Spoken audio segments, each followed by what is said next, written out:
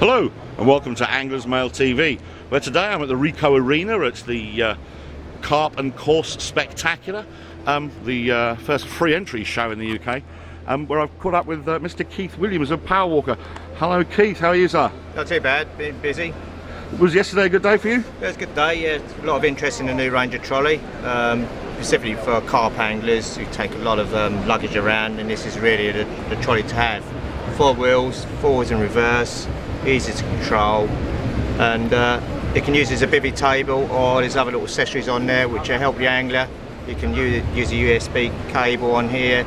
You got cables. U USB? USB, unbelievable. So for the old uh, iPads and things like that, you know. It's so cool. Let me um, let me wander the camera away from where it can hear you really clearly, and just uh, for the sake of uh, the viewers, underneath here there's the um, obviously the wire going to the control kit, Yeah, and it's, uh, it's got two batteries. Uh, battery pack hanger there, and the motor Motors at the rear. right at the rear. That's us zooming in on the motor.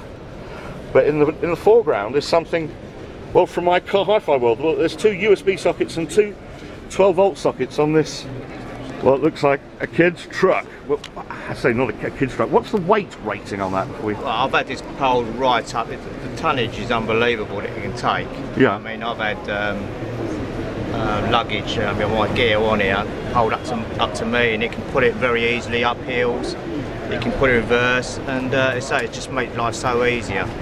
And tell us about those uh, those sockets on the side again. The two sockets, it's run on a separate uh, battery, Yeah, yeah. Um, which you can buy separately with the um, with the trolley. But you can run off your iPad, your DVD player. You know, if you're like me, I use the computer a lot. It runs your computer, so it's absolutely fantastic. You know, if you've got a big bivvy, like in France, two-man bivvy, it goes straight in your bivvy, or you can just have it outside. You know, it's just absolutely awesome piece of kit. And what's the range? You can walk five miles with this, and Wow, uh, so it's a long, long way.